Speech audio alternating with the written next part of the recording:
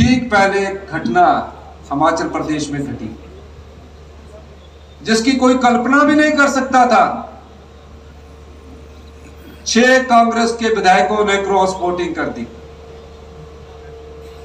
Cross voting की, उसके अगले दिन बजट पास होना था।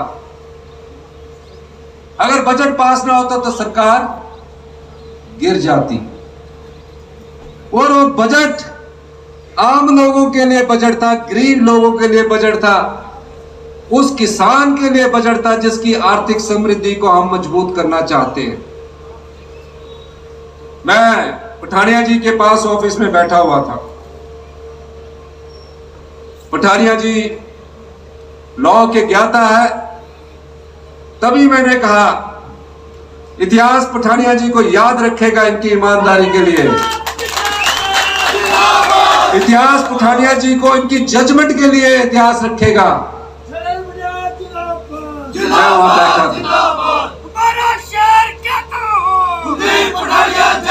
मुझे खबर मिली, हम भारतीय जनता पार्टी के नेता जो सत्ता की भूख में पागल हुए हुए थे, अंदर नारे लगा रहे थे।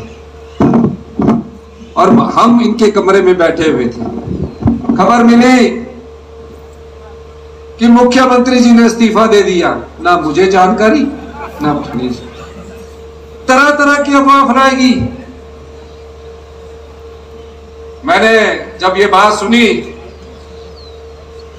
मैंने कहा, मैं क्यों इस्तीफा दूँगा? हमारे पास मेजोरिटी है। पठानिया जी ने कहा, जो कानून बोलता है, मैं कानून का रक्षक हूँ। ईमानदारी से फैसला करूँगा और परिभाषा जो मैं लिख के जाऊँगा, उसको कोई बदल भी नहीं पाएगा। इसके लिए पठानिया जी को मैं मुबारकबाद देता हूँ। सारे चैनलों में इस्तीफा इस्तीफा इस्तीफा। मैं आप लोगों के बजट का रिप्लाई देने के लिए तैयारी कर रहा था। सारे जगह से फ़ोन आए कि आपने इस्तीफा दे दिया। मैंने कहा, मैं तो बजट पास करना चाहता हूँ। क्या था उस बजट में? आम आदमी की आवाज़ थी, ऐसा बजट 40 साल में पहली बार प्रस्तुत किया गया होगा। मैंने कहा, गाँव में मनरेगा का मजदूर है।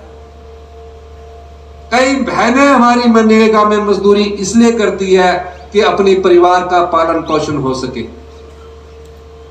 मेरे पास अधिकारी लाए कि बीस रुपए बढ़ने चाहिए। मैंने बोला, नहीं सीधे साठ रुपए की ऐतिहासिक वृद्धि हमने मनरेगा के दिहाड़ी में की। मनरेगा में जो मह...